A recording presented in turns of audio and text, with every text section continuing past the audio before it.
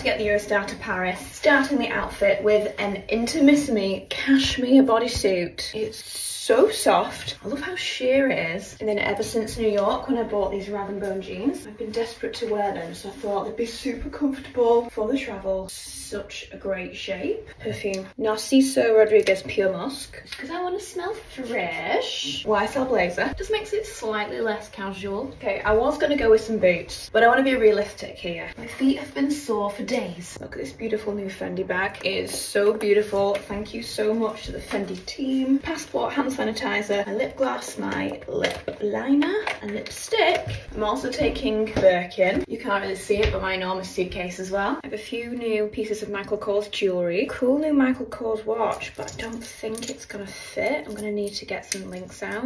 Oh, but it's really nice. Final week of fashion week. Let's do this.